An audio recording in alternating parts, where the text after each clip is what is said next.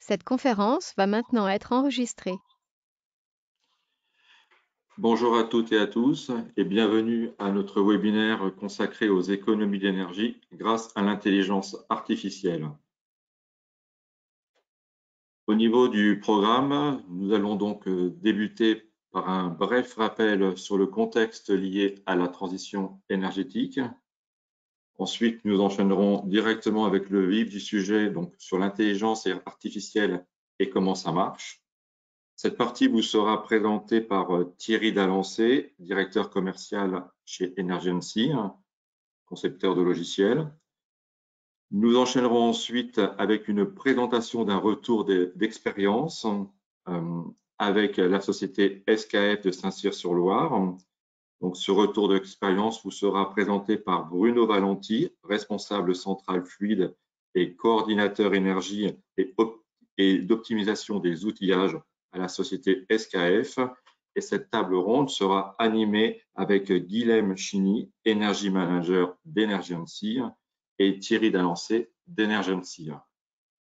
Au niveau du timing, ces trois premières parties, nous prendrons environ 45 minutes. À l'issue de ces présentations, nous répondrons à vos questions-réponses. Vous pouvez donc utiliser le chat en haut à droite de cet écran pour poser vos questions. En ce qui me concerne, je suis Jean-Marc Piatek, chef du département maîtrise de l'énergie à l'association technique AT2E. Alors, pour ceux qui ne connaissent pas l'AT2E, euh, Association technique énergie et environnement, est une association de loi 1901 qui a, été créée en 1978 et le but de la T2E est de favoriser la maîtrise de l'énergie dans les entreprises et les collectivités et plus particulièrement les industries. Nous regroupons environ 2200 adhérents avec environ 700 personnes morales, c'est-à-dire 700 entreprises. La particularité de l'association, c'est d'avoir un découpage régional avec 12 délégations qui permettent, à l'aide de nos bureaux en région, d'avoir un contact proche sur le terrain. La T2E est découpée en deux pôles, un pôle efficacité énergétique avec le club cogénération, certificat d'économie d'énergie et le département maîtrise de l'énergie, et un second pôle dit pôle énergie renouvelable avec le globe biogaz, pyrogasification, stockage d'énergie et club power to gas. Enfin, la T2E, c'est aussi un, la T2E édite un bimensuel d'actualité, le magazine Énergie Plus, qui est donc le magazine qui présente l'actualité sur les thématiques de l'énergie et de l'environnement. Alors, un bref rappel du contexte lié à la transition énergétique.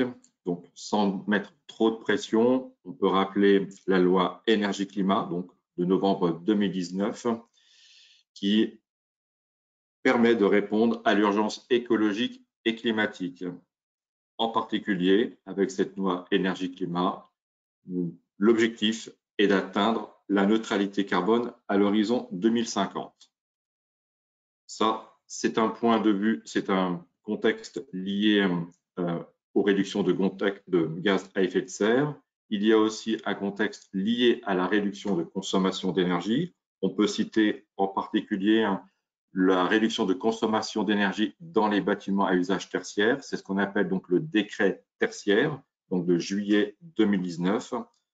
Ce texte euh, prévoit l'obligation de mise en œuvre d'actions de réduction de la consommation d'énergie finale dans les bâtiments existants à usage tertiaire. En particulier, parmi les actions destinées à atteindre ces objectifs euh, donc mentionnés dans ce décret tertiaire, on, on a notamment, et c'est le point 2 que je vous ai indiqué sur ce slide, l'installation d'équipements performants et de dispositifs de contrôle et de gestion active de ces équipements.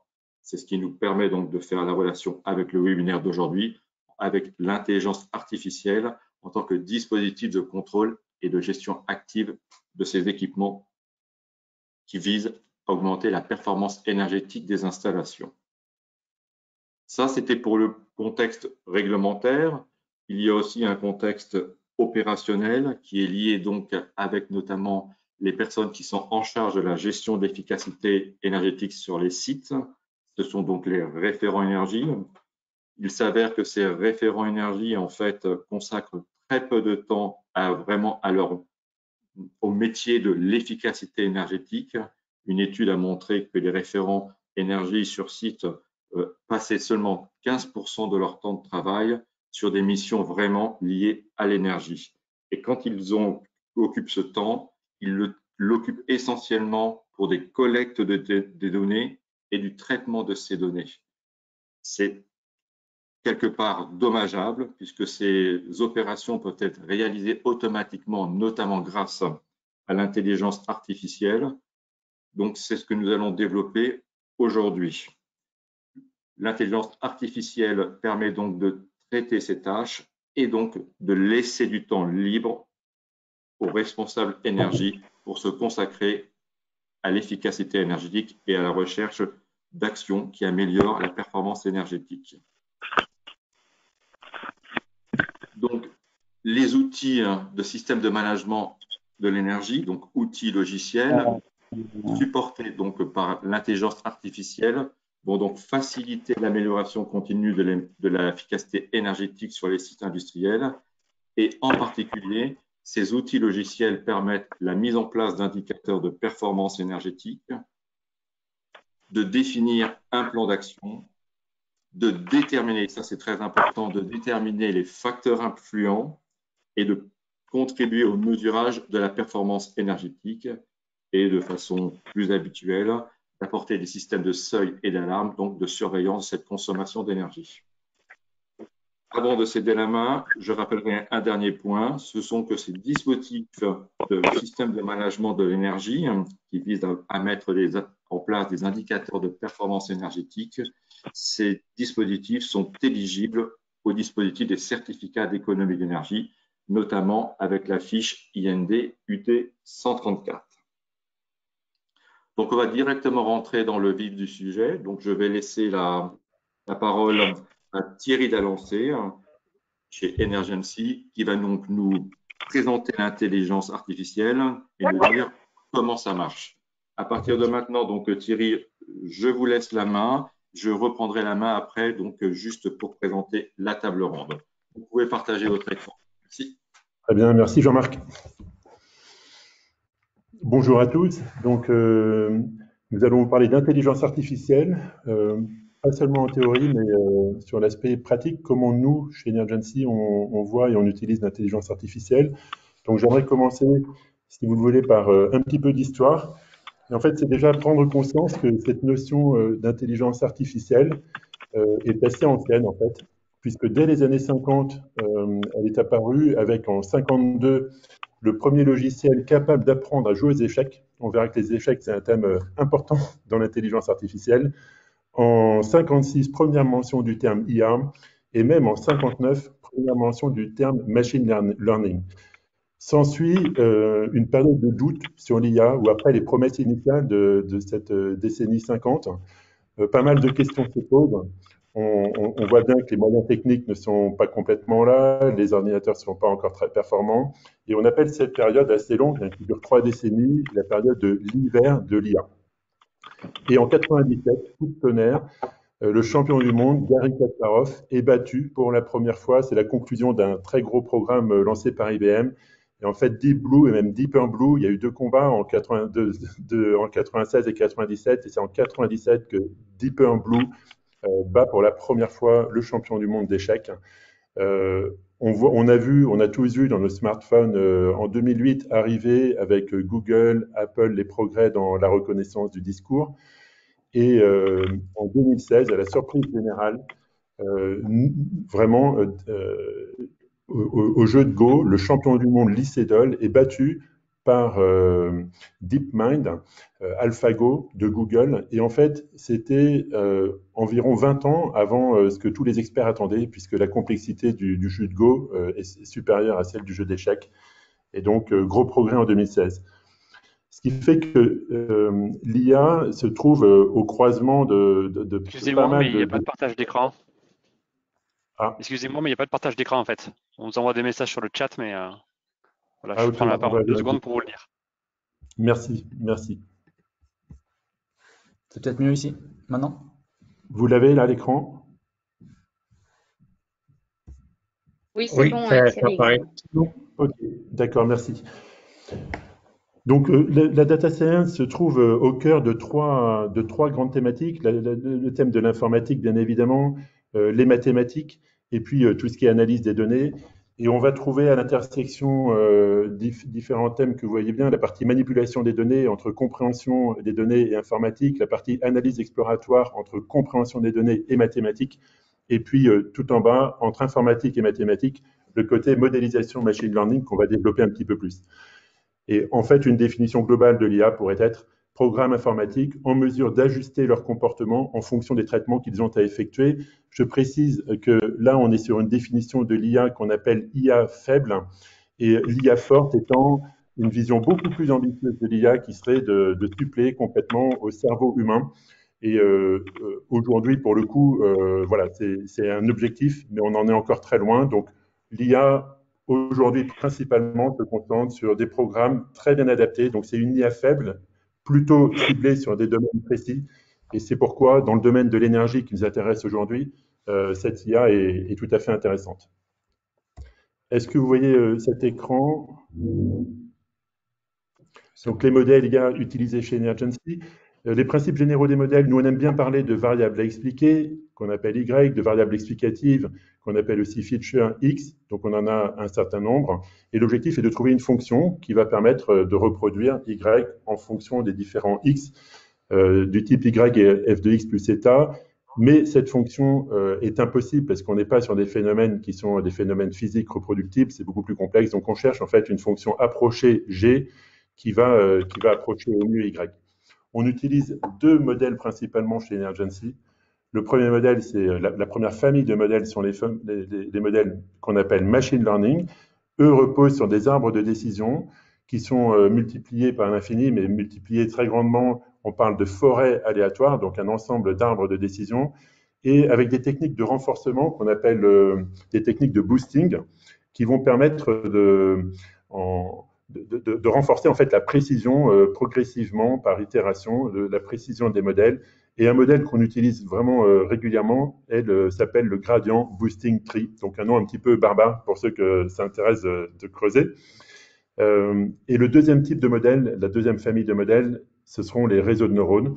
Et donc, pour faire simple, un neurone, c'est en lui-même un petit modèle. Il reçoit des données d'entrée et il va reproduire un signal de sortie avec différents paramètres, un seuil d'activation, des, lois de, des lois de sortie. Et puis, euh, ces modèles vont être organisés en couches plusieurs neurones et euh, permettre euh, d'avoir également une bonne, une bonne précision de modélisation en sortie. Une phrase qu'on entend souvent, que nos data scientists utilisent aussi, c'est tous les modèles sont faux, mais certains sont utiles. Donc, elle est assez ancienne maintenant, 87. Mais euh, voilà, on sait qu'il y a de l'imprécision, elle est euh, inhérente euh, au principe de la modélisation, mais certains vont être plus précis que d'autres et donc plus utiles. La méthodologie qu'on utilise chez Energency, c'est d'abord, ça, paraît simple de le dire, mais il faut formuler un problème. Et typiquement, ça va, ça va se traduire par quelle est la variable à expliquer, quelles sont les variables explicatives. J'ai quelquefois rencontré des situations où, chez un industriel, en fait, on n'arrivait pas très bien à formuler le problème. La demande était un peu forte. Il y avait l'idée peut-être de donner beaucoup de données, puis à la fin, vous allez trouver quelque chose qui va nous intéresser. Et c'est pas comme ça que ça fonctionne. Il faut vraiment prendre le temps de réfléchir à une problématique euh, et de l'exprimer le plus simplement entre variable expliquée et variable explicative. Ensuite, on va chercher des données. Les données qui nous intéressent, nous, dans notre domaine, sont les données énergie et fluide, bien sûr, mais aussi les données liées à la production, à l'activité, par exemple les rythmes d'activité, les shifts, la production, c'est, euh, il y a énormément d'informations euh, intéressantes au niveau de la production et vous le verrez dans le cas d'usage SKF. Et, euh, et, on a bien sûr les données météo comme la température et l'humidité. Et ces données-là doivent d'abord être, après avoir été collectées, ce qui est un petit travail, elles doivent être nettoyées pour être sûr d'apprendre sur les périodes représentatives. Quelquefois, on trouve des, des fonctionnements un petit peu anormaux. Il est important de pouvoir les éliminer. On passe ensuite dans la partie de construction du jeu de données, avec euh, naturellement les données nettoyées préalablement, mais aussi de nouvelles, euh, de nouvelles données qui vont être des données calculées, ce qu'on appelle le feature engineering.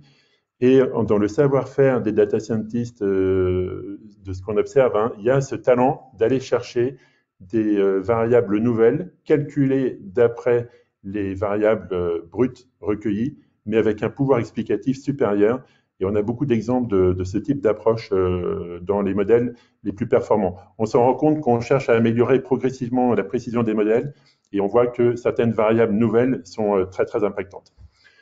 Euh, on passe à la partie ensuite entraînement du modèle avec une période d'entraînement, une période de test, et à la fin, on mesure les performances et vous avez différents indicateurs qu'on utilise régulièrement.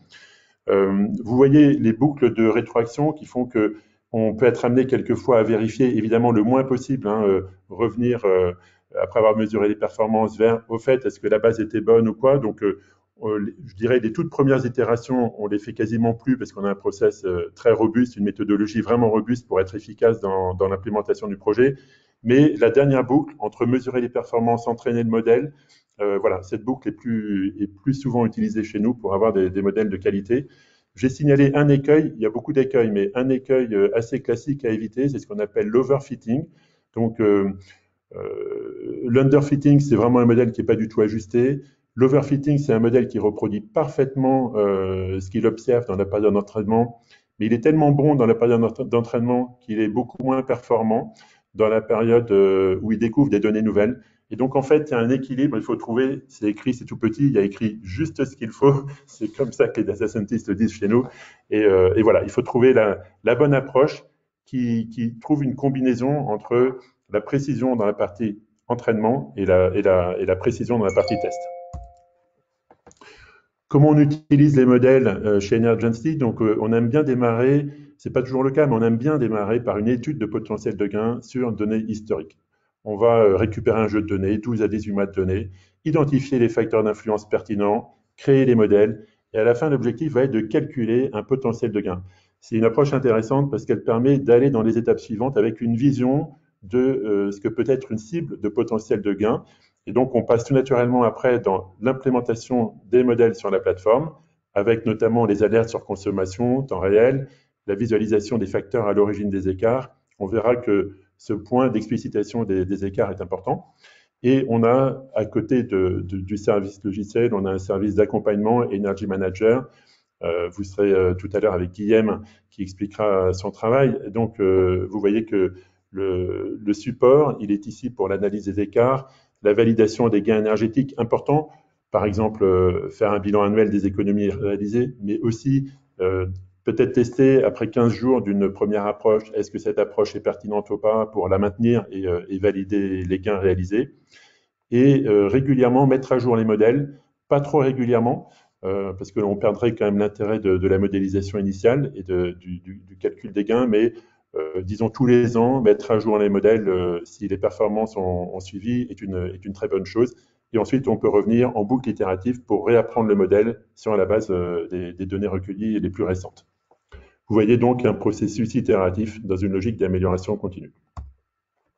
En conclusion, euh, je dirais qu'on a, euh, a besoin d'IA et c'est très intéressant, mais euh, on ne doit pas oublier l'IH, l'intelligence humaine. L'IA n'est qu'un outil. on parle beaucoup de digital, mais le digital seul ne va pas très loin. On a besoin d'humains à côté. Et l'IA en particulier, pour être opérante, doit être pertinente. C'est-à-dire que les modèles doivent être précis, les alertes pertinentes mais elle doit être aussi simple d'utilisation. La plateforme doit être ergonomique, réactive et également simple d'interprétation, c'est-à-dire que euh, les facteurs explicatifs des écarts ne sont pas trop euh, difficiles à, trouver. Tout ça pour que euh, l'IA puisse être en fait utilisable sur le site. Et vous voyez à droite que à chaque étape, les data scientists, le support emergency, les energy managers sont en interaction étroite avec le site, justement, l'industriel, pour arriver à, au départ, assurer la qualité des modèles et ensuite assurer la prise en main des modèles et notamment une étape clé qui est euh, la création de la confiance dans les modèles et euh, arriver à vraiment finalement se sentir à l'aise avec les modèles pour presque jouer avec les modèles, ce qu'on verra avec le KSKF. À chaque étape, ce qu'on voit, c'est que l'implication des hommes et des femmes, bien sûr, et de leur intelligence est clé à, toutes les étapes. On ne peut pas imaginer un, fonctionnement boîte noire où on viendrait recueillir un très grand jeu de données. Ça nous arrive souvent d'avoir des très grands jeux de données, mais ce n'est pas juste en, les travaillant qu'on va trouver des choses pertinentes, on va, trouver des choses qui vont être intéressantes, mais la qualité va venir de l'échange entre les data scientists notamment et euh, l'équipe site.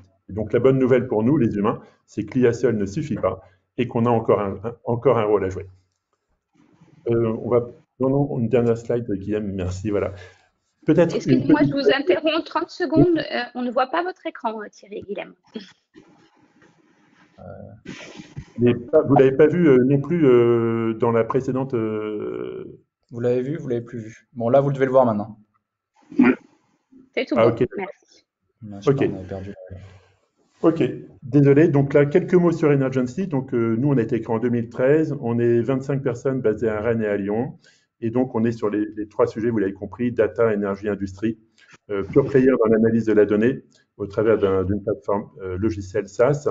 Et euh, vous voyez l'INRIA, c'est l'Institut national de recherche en informatique automatique dont on est très proche et qui nous permet d'être connectés au domaine de la recherche. L'énergie, nous sommes passés sur tous les sujets de l'énergie, multifluide, électricité, gaz et toutes les utilités et de nombreux secteurs de l'industrie. On n'est pas présent dans tous les secteurs, mais on, développe notre empreinte et on intéresse les, petits et les grands, les mûrs et les moins mûrs. On a en fait des solutions très flexibles pour nous adapter aux situations des différents industriels. Au global, notre vision, c'est de permettre aux industriels de réaliser des gains énergétiques et de réduire leur empreinte carbone grâce à notre technologie innovante qui analyse en temps réel les données existantes en alliant, on l'a dit, intelligence artificielle et humaine. Je propose de, vous passer la main, Jean-Marc, si vous êtes, si vous êtes Ok. Hum. Merci Thierry hein, pour, euh, pour cette présentation. Donc là, nous allons pouvoir maintenant enchaîner hum, avec hum, le, la table ronde, donc avec ce retour d'expérience euh, de la société SKF de Saint-Cyr-sur-Loire. Donc pour ça, nous allons donc accueillir euh, Bruno Valenti, responsable central du fluide, et euh, Guilhem Chini de la société Energency, qui vont pouvoir donc euh, nous, euh, nous animer et présenter ce retour euh, d'expérience. Je vous laisse la main. Bruno, allez-y. Bonjour à tous et à toutes. Est-ce que vous voyez mon slide? C'est bon. Le partage d'écran fonctionne. C'est bon, bon, bon, donc bonjour à toutes et à tous et à toutes surtout. Mon nom est Bruno Valenti. Euh, j'ai en charge euh, au niveau de SKF Saint-Cyr-sur-Loire euh, les centrales de fluides, tous les fluides qui alimentent nos différents ateliers, coordinateur énergie au niveau de l'utilisation. J'ai un collègue qui est coordinateur énergie au niveau du site, au niveau des bâtiments, SE Building, et moi au niveau de la production. La production qui représente quand même 87% de notre consommation sur site et aussi l'optimisation des outillages. Alors, SKF, qui sommes-nous? Euh, ben, euh, On nous connaît surtout pour tout ce qui est euh, roulement. On a été fondé donc en 1907. Le groupe SKF produit des, des, services et des roulements à plus de pour 40 industries différentes.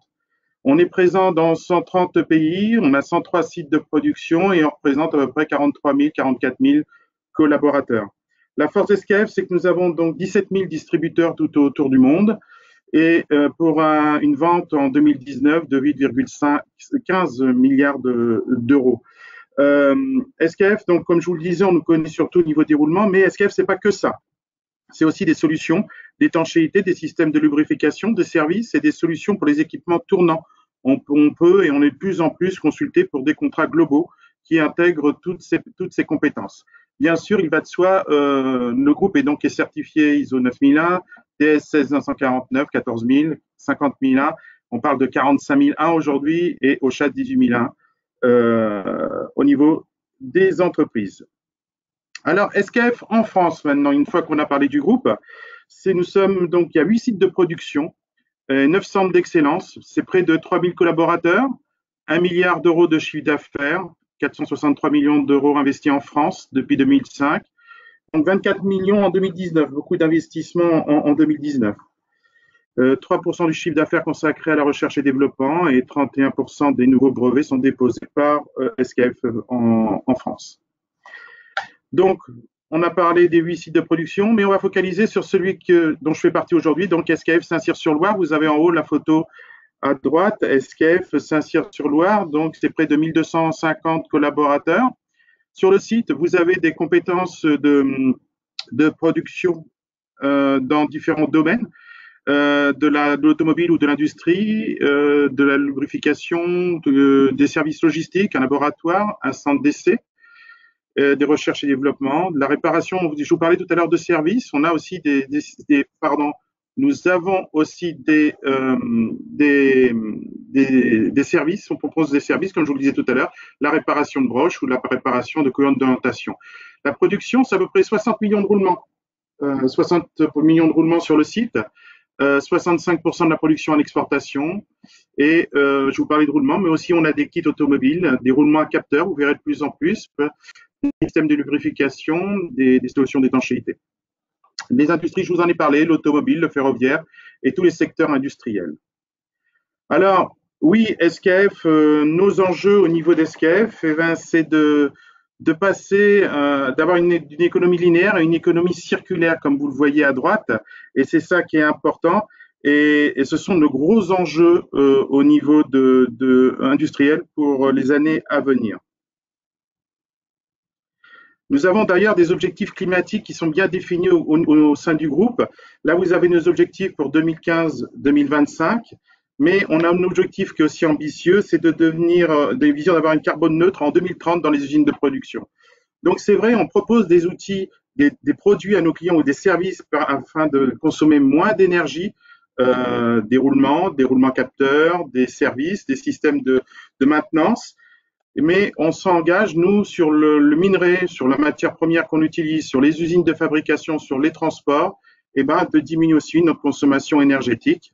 Euh, on peut voir que euh, on a une croissance durable possible. Nos résultats sur 2019, hein, moins 36%, euh, même si la production a augmenté de 13%. Alors SKF n'a pas commencé à travailler sur, euh, sur la réduction de la, la, maîtrise de son énergie depuis 2017. On a commencé il y a bien longtemps.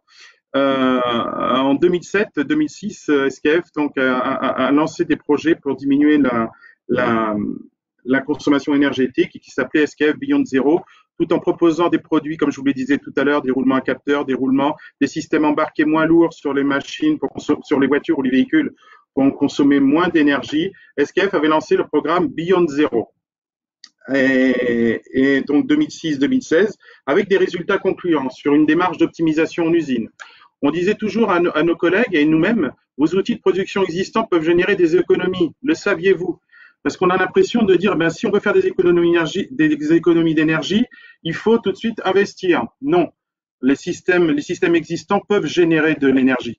Euh, je vais quand je vais dans une centrale ou dans une installation, euh, quand je vois qu'on fait tourner un moteur à fond, une pompe à moteur pompe à fond, et qu'on et qu'on règle la pression ou le débit avec euh, une vanne, je me dis, messieurs, là, on a d'énergie à, gagner, de la réduction d'énergie à faire. Essayez de conduire votre voiture, vous, en appuyant à fond sur l'accélérateur et en régulant votre vitesse avec le frein.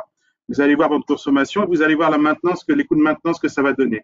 Donc, c'est utiliser déjà l'existant et euh, qui, peut, qui peut générer des économies avec des solutions simples et du bon sens.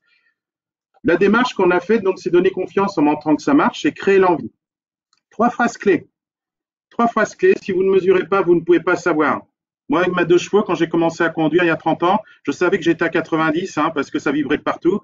Maintenant, avec ma, la voiture que j'ai, à 90, j'ai l'impression que j'avance pas. Donc, euh, il faut mesurer, il faut qu'il y ait un compteur, il faut qu'il y ait des tableaux de bord, quelque chose qui nous permet de piloter euh, nos installations. Ne pas utiliser d'énergie hors production. Euh, on s'est aperçu quand on a fait nos contrôles, quand on a fait, quand on a collecté toutes les informations, que 32% de notre consommation était consommée quand on n'était pas là, quand on produisait pas. Donc déjà, travaillons sur ce, travaillons sur ce, sur ce point.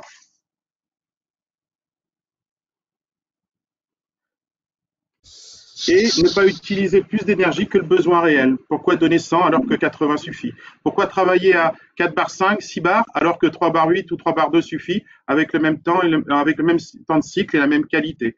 Donc se poser les bonnes questions.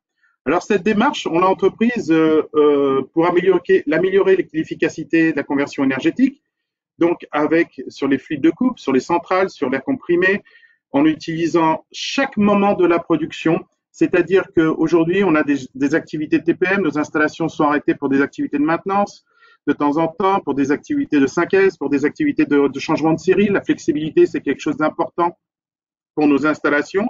Et donc, la demande est moindre. Donc, on, adapte la production en fonction de la, demande. Et aujourd'hui, la vitesse variable est quelque chose comme le, les, variateurs de vitesse qui peut nous permettre de le faire et de le générer. Et une fois que vous avez ça, vous pouvez aller plus loin et vous pouvez régler des pressions, je vous disais, avoir une pression moindre tout en ayant un, temps de cycle une qualité euh, bonne. Et on a travaillé sur l'air comprimé, sur l'énergie, on a travaillé sur diminuer la demande pendant la production et après les heures de production. Alors des résultats qu'on a eus en 2006-2007, vous voyez, on a, on a descendu notre consommation de 34% électrique tout en augmentant notre production de 28% quand on a pris un secteur, là, c'était la centrale des fluides, en 2007, les, on produisait 8 500 000 roulements et on consommait 6 millions de kilowatts. Et j'ai dit à l'équipe, messieurs, l'année prochaine, on va diminuer notre consommation d'un million de kilowatts. Ah, ils m'ont dit, Bruno, c'est pas possible. Ça fait 15 ans, 20 ans, 25 ans qu'on travaille comme ça, on pourra pas. Et ben, l'année suivante, on a produit 10 500 000 roulements dans le même secteur et on a consommé 5 millions de kilowatts. Donc, des résultats jusqu'à 2016 hein, qui, qui étaient intéressants la consommation d'eau aussi qu'on suit, et je vous disais l'action sur le processus de fabrication, où là, on a consommé moins 17% au niveau électrique, parce que on a encore des, euh, des choses sur lesquelles on travaille, notamment au niveau électrique, pour euh, pas perdre nos programmes sur nos machines quand on coupe euh, quand on coupe les perdre des valeurs de registre, quand on coupe l'électricité, donc on a encore des choses, et sur la consommation d'air.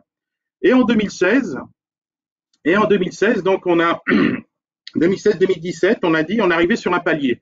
Et on s'est dit, mais là, il faut qu'on aille plus loin, il faut qu'on se dote d'outils pour aller plus loin. Et on s'est doté d'outils. Donc là, c'est pour vous donner une synthèse 2017.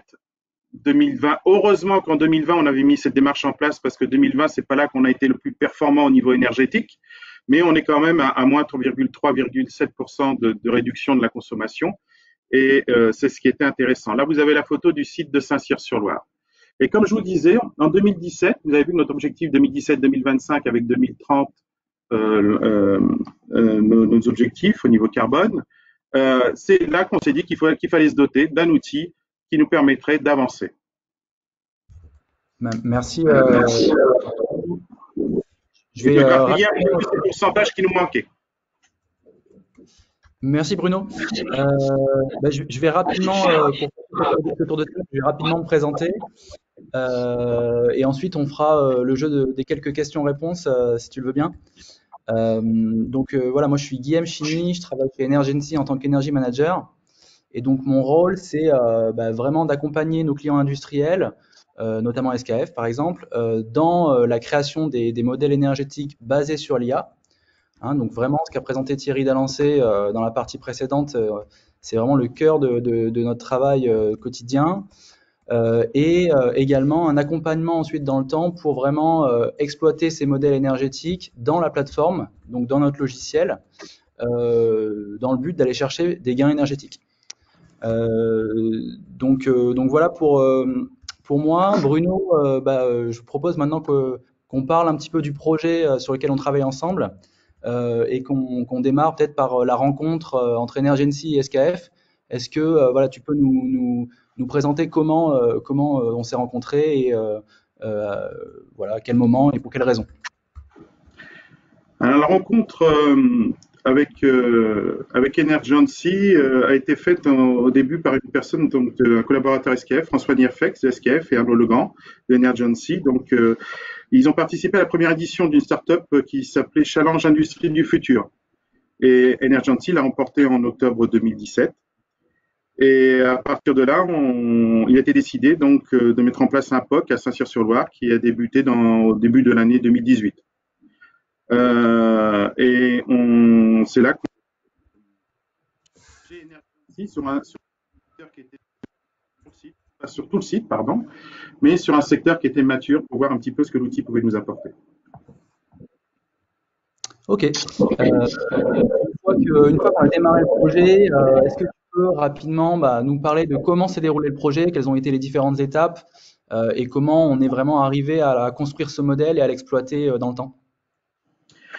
Alors oui, la, première étape, donc, ça a été de, bâtir un modèle sur un secteur qui produisait à peu près 10 500 000 roulements, un bâtiment, euh, et de travailler sur l'électricité et l'air comprimé.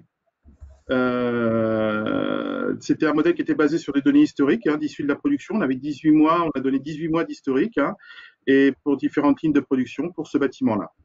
Et à partir de là, donc euh, Energency a travaillé et à, travailler sur un potentiel de gain avec le data, de, data d'Energency et qu'il y avait un potentiel de gain de 3,5% euh, sur ce secteur-là.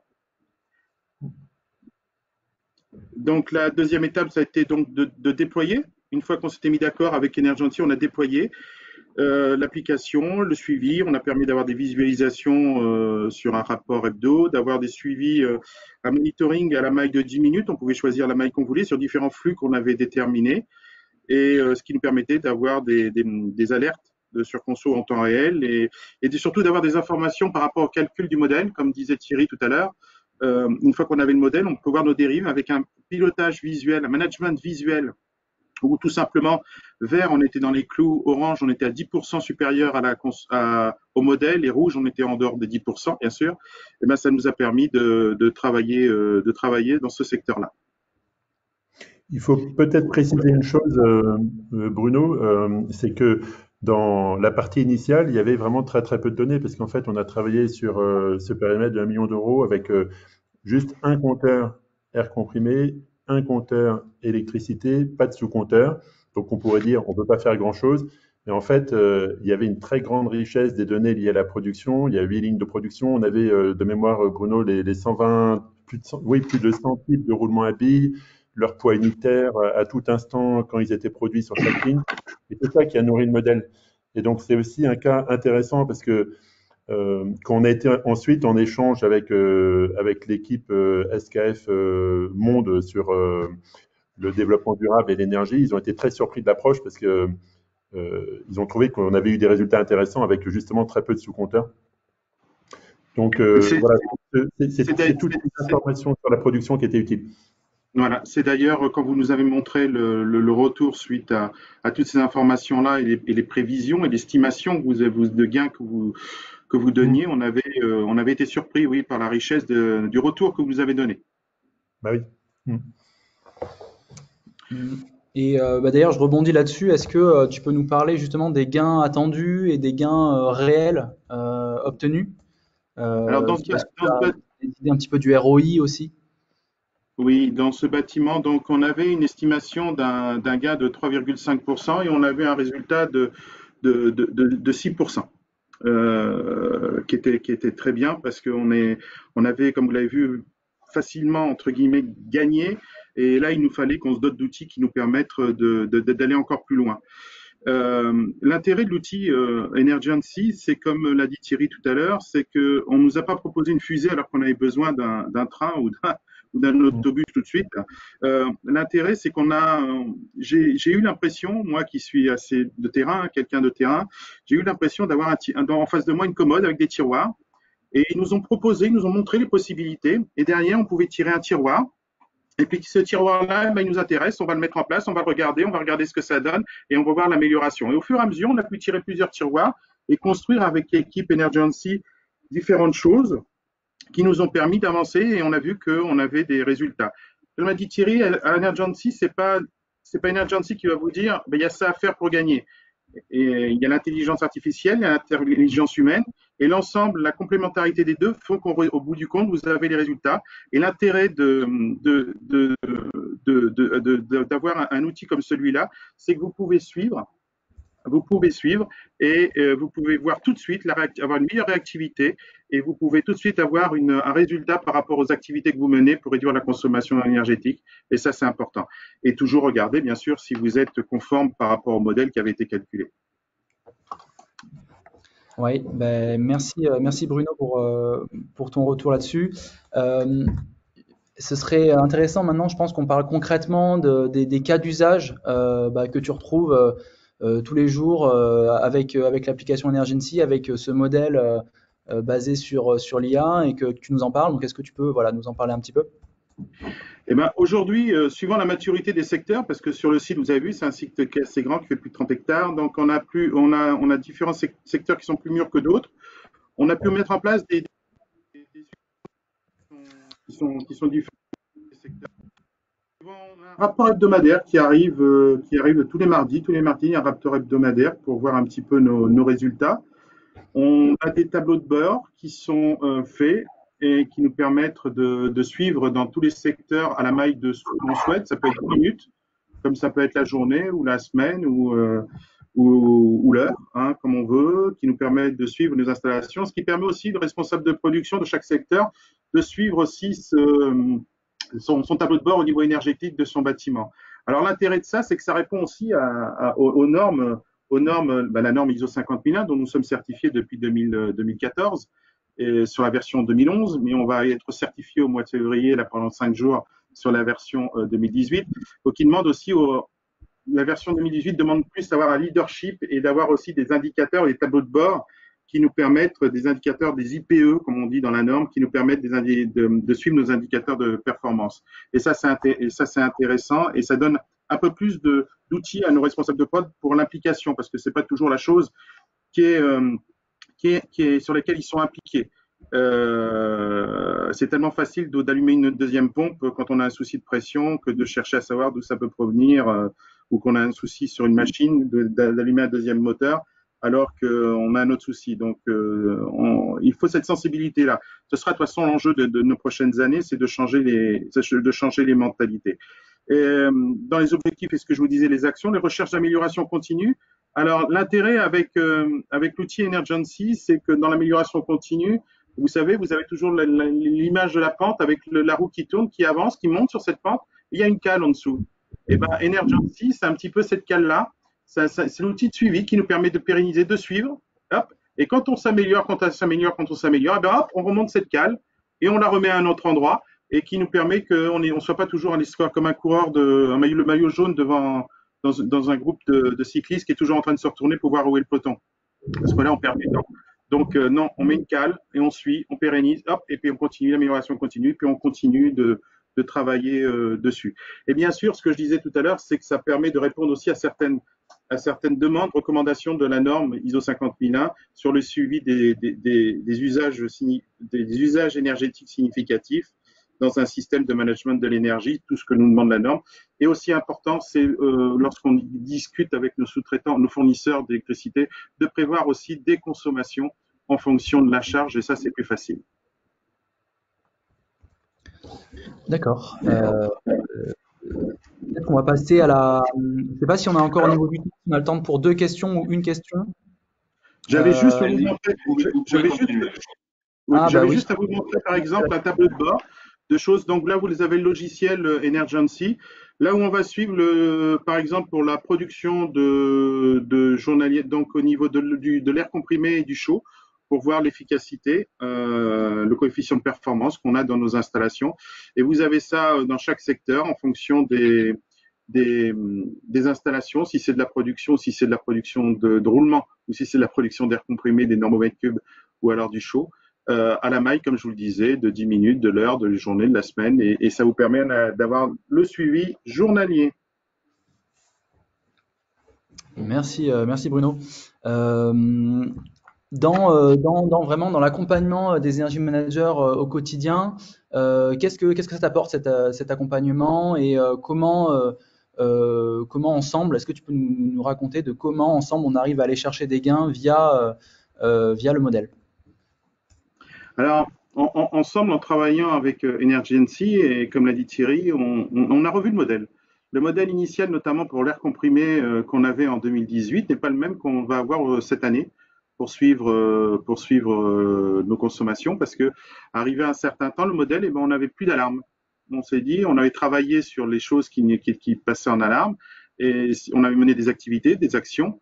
Et derrière, on n'avait plus d'alarme. Donc, au bout d'un moment, eh ben, on n'avait plus d'informations. C'était bien, on respectait le, le, modèle, mais on n'avait plus d'alarme. Donc, on s'est dit avec, euh, euh, et avec vous, avec votre équipe, donc on va recalculer le modèle On l'a fait en prenant les données de 2019, qui était notre année de référence. Et puis, à partir de là, on a recalculé le modèle et le modèle nous a permis de voir des, euh, dérives qui vont nous permettre, par rapport à 2019, de retravailler encore pour aller encore plus loin. C'est-à-dire que ça va nous permettre de gagner encore ces petits pourcentages qui nous pour réduire notre consommation énergétique parce que là, on ne fera pas des bons de 15, 20%, 30% comme on peut le faire au début, mais euh, on va faire des bons de 2, 3% et on va continuer à aller chercher ce, ces, gains-là. Sachant que on a développé, on a mis en place donc euh, euh plus de plus de suivi de flux dans différents secteurs puisqu'on a montré que ça marchait. Comme l'a dit euh, en, introduction, avant, je passais à peu près 15% de mon temps sur l'énergie au niveau du site. Aujourd'hui, avec il y a eu une réorganisation au niveau du site, eh ben je passe 60-70% de mon temps sur l'énergie parce qu'on a montré que ça pouvait apporter. Et heureusement qu'on l'avait fait pour 2020. Je reviens sur 2020, qui était une année bien particulière. Hein. Peu de production, de la consommation énergétique, et heureusement qu'on a su la maîtriser. Vous l'avez vu tout à l'heure. Même si ça on a été plus mauvais au niveau résultat énergétique, on a, diminué quand même notre consommation énergétique, peut-être moins que ce qu'on aurait pu faire, mais on l'a quand même fait et on a pu surtout la maîtriser. Et ça, c'est important. Oui, euh, je vais euh, peut-être te poser une question que je vois apparaître euh, plusieurs fois dans, le chat, euh, notamment sur le fait que euh, voilà, le modèle en lui-même, euh, bah, c'est sûr qu'il ne va pas tout seul générer des économies d'énergie, euh, est-ce que tu peux nous, euh, dire bah, quelles actions concrètes, euh, là je vois que c'est une question d'Olivier Berthe, quelles actions concrètes tu as, enfin, vous avez mis en place pour réduire vos consommations et comment ça s'est articulé voilà, avec l'utilisation du modèle? Alors, des actions concrètes, alors il n'y en, a pas eu qu'une, il, y en a eu plusieurs. Par exemple, euh, quand on parle de l'air comprimé, tout simplement, on dit ben, pour, diminuer notre consommation, il faut, euh, euh, faire une chasse aux fuites. Or, sur certains process, vous avez des fuites qui sont dites normales, entre guillemets. Une pressurisation de boîtier électrique, une pressurisation d'appareil de mesure, style Marpos. Ça, ce sont des fuites normales. Ça nous a permis de travailler sur ça. En, en, ça sert à rien de mettre des pressurisations à 6 bars, à 4 bars, à 3 bars si un bar 5 suffit ou un bar 2 suffit, euh, de mettre des actions comme celle-là, de réduire aussi quand on n'est pas là, de pouvoir mettre en place, des, on a zoné nos, nos, ateliers avec des vannes et des débitmètres. Donc, euh, on, quand on n'est pas là, on coupe, on coupe l'installation. Là, on me dirait, ouais, mais ça met les machines, les prépas des machines, qu'elles coupent, euh, ça les met en. Non, non, non. Si vous travaillez, vous le faites d'abord, on l'a fait d'abord en manuel, et après on l'a fait en automatique systématiquement. Quand on n'est pas là, on coupe l'air. Ça, c'est clair. Donc, on n'utilise pas euh, les installations en couple-air. Et derrière, ça nous a permis de même ces pressurisations qui fonctionnaient euh, quand les machines étaient arrêtées, parce que je vous rappelle quand même qu'on consommait 32% de notre énergie quand on ne produisait pas, machine arrêtée. Et aujourd'hui, on est rendu à 11%. Euh, donc, on, on, on coupe l'air. Et quand on a coupé l'air, eh mes équipes ont dit Bruno, on peut aller plus loin. J'ai dit comment ça, on peut aller plus loin? Eh ben, ils me disent eh ben, on peut euh, coupler les aspirations à l'air. Ah oui, s'il n'y a pas d'air dans l'atelier, c'est qu'on ne travaille pas. Donc, s'il n'y a pas d'air, il n'y a pas besoin d'aspiration. Donc, à partir de là, on a couplé euh, avec des systèmes tout simples, même avec ce qui est fourni. Dans les armoires, un contacteur avec, il y a de l'air, les, aspirations sont en fonctionnement, il n'y a pas d'air, elles ne sont pas en fonctionnement. Et pour un, un, investissement matériel, ça devait être 1500 euros. On a diminué, euh, on a fait une, réduction de sur la facture euh, électrique de 10 000 euros sur les aspirations. Donc, euh, je vous dis, au fur et à mesure qu'on avance, et une fois que vous avez créé ça avec vos équipes, eh ben, vous avez créé l'envie, ils sont, ils sont acteurs, ils subissent plus, hein, ils sont acteurs, et ben derrière, ben, vous avez gagné parce qu'au fur et à mesure, eh ben, vous avez de plus en plus de, de, de solutions qui coûtent pas cher et qui rapportent. Et ça peut être des modifications du réseau automatique, ça peut être de changements sur les machines. Avant, on avait des distributeurs sur les machines qui étaient des lucifères, qui fonctionnaient en, qui fonctionnaient pas en dessous de 6 bars, qui coûtaient 130 euros quand on changeait un distributeur. On a mis un distributeur d'une autre marque euh, qu'on trouve à tous les coins de rue, pour pas les citer, euh, qui fonctionne à 4 bars 2, qui donne, euh, qui coûte 30 euros et qui nous permettent de réduire aussi notre, consommation d'air sur la machine, sur les machines. Il y a un type de machine où on en a 20, 24 sur le site. Et ben, on a diminué notre consommation d'air comprimé sur cette machine-là en fonctionnement de 32%. 33 sur une et 44 sur l'autre en moyenne. Bruno, si vous permettez, Bruno et, Guilhem, on, va pouvoir euh, maintenant euh, aborder donc les, questions qui sont sur le chat et donc euh, et pouvoir donc notamment donc répondre à un certain nombre de, questions en direct à la fois de la part de, SKF et d'Energency. Hein. Donc je vous remercie hein, pour pour cette pour cette présentation. donc donc là, les questions, on va les prendre euh, par rapport au, chat. Donc, euh, pour les personnes qui n'ont pas encore utilisé le chat pour poser vos questions, eh bien, n'hésitez pas, c'est maintenant le, moment. Euh, il y a une question, j'en ai vu plusieurs, donc je vais essayer de, un petit peu synthétiser. Hein. mais plusieurs fois, dans le chat, est revenue une question en relation avec les facteurs, les facteurs influents. Et notamment, donc là, cette question, elle s'adresse à la fois à Emergency, mais aussi au retour d'expérience, grâce à SKF. Comment vous avez pu déterminer les facteurs influents euh, grâce à l'utilisation de l'intelligence artificielle? Donc là, c'est un petit peu à capella, je vous laisse, je vous laisse répondre. Cette question a été posée plusieurs fois dans le chat. Alors, euh, comme, je l'ai expliqué, euh, les facteurs influents qu'on a cherchés ont été euh, liés à la production. Euh, et on a aussi inclus la météo, mais finalement la météo n'était pas pertinente. La météo joue en général sur l'air comprimé, la température de l'air va modifier sa densité, donc doit pouvoir jouer. Mais là, dans le, dans le cas présent, elle n'a pas été retenue.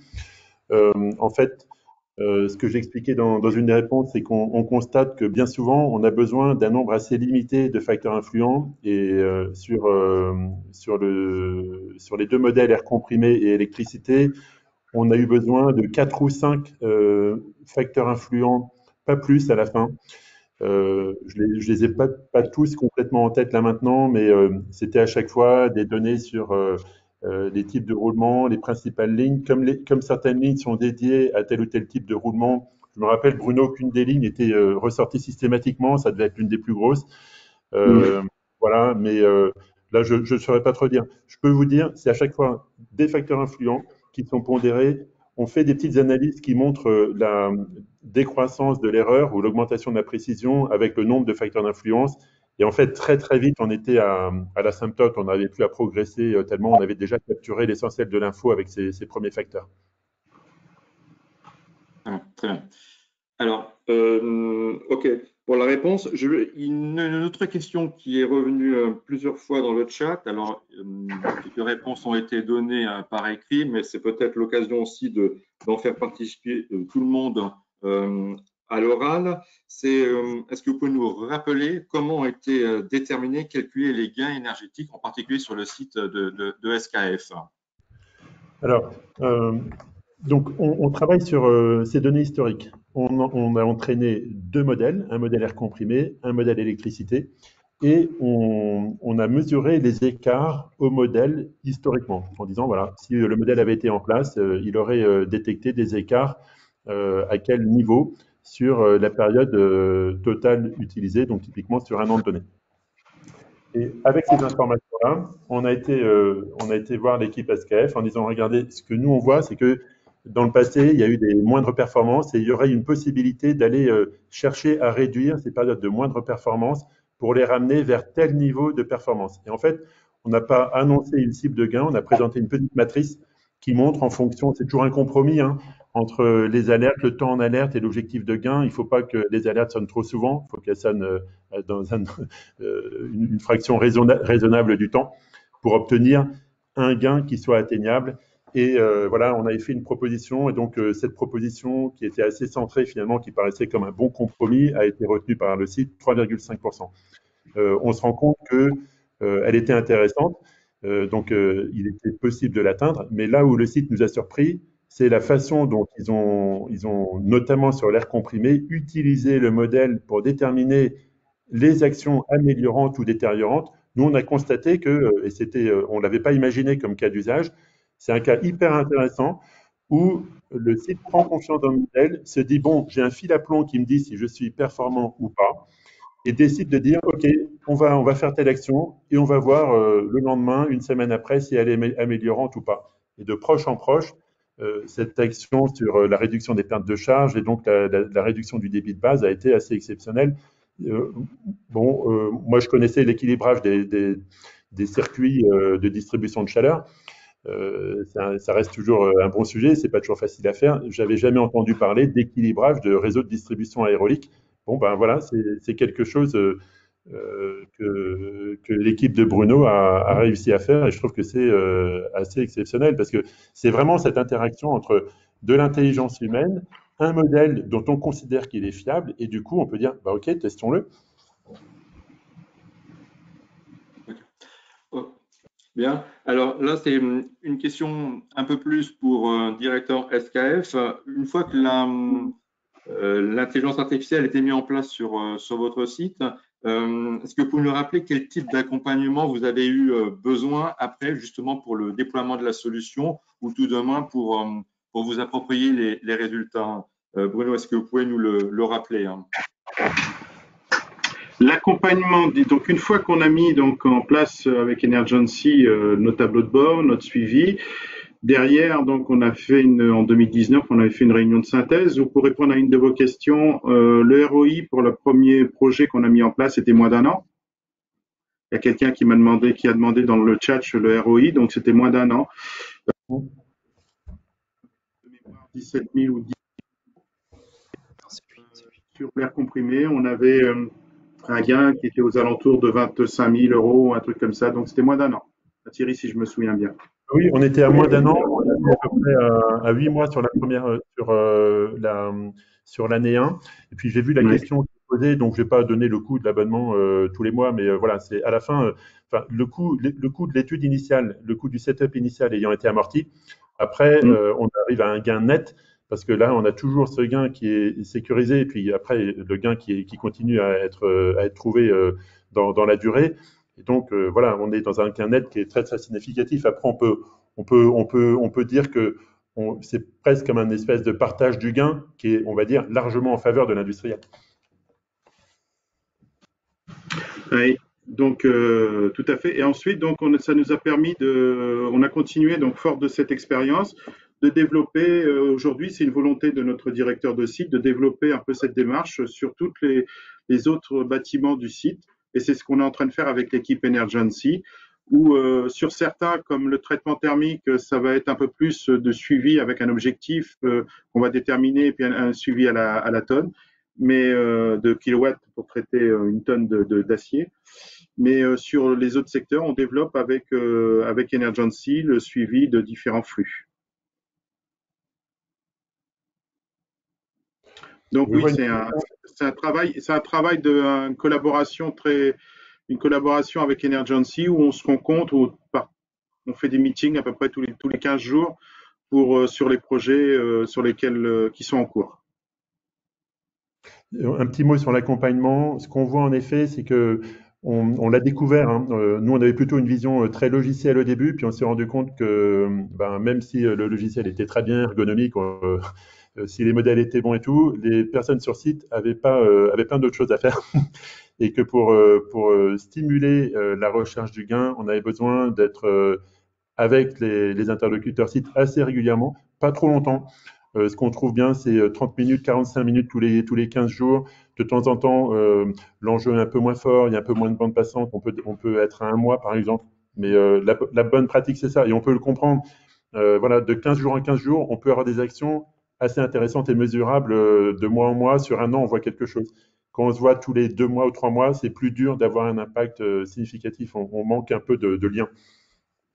Vous voyez, pour, vous, pour, vous, pour imaginer un petit peu ce que Thierry vient, de dire, je vais vous montrer un, un, document pour répondre à certaines questions du chat. Vous voyez mon écran là?